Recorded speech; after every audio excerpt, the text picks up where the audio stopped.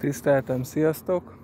Hát most beiktattam egy ilyen napot, már az az igazság, hogy most, most már kezdek majd kifogyni ebből a kedvezményes kártyából, meg hát nyilván amit láthattatok a horgászat, majd avval kapcsolatban is nyilván szeretnék egy hosszabb volumenű sorozatot megindítani.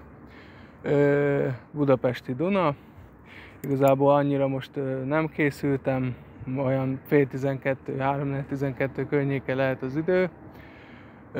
Megpróbálok egy éjszakai videót megcsinálni ebből a, hogy hívják, szardíniás kagylós bojlival, meg följebb a Dunánál, Újpestnél, ahol van a vasúti híd, ma ott vannak hajók, úgyhogy még majd a hajnali 5 órát addig most megcsinálom ezt a videót.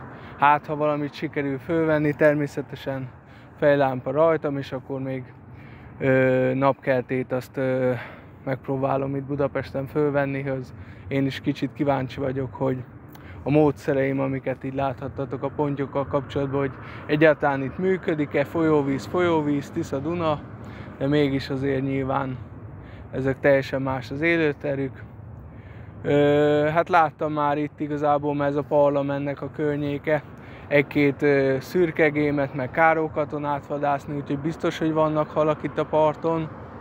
Úgyhogy mondom, megpróbálkozok, aztán majd látjátok, hogy mit sikerül összehozni.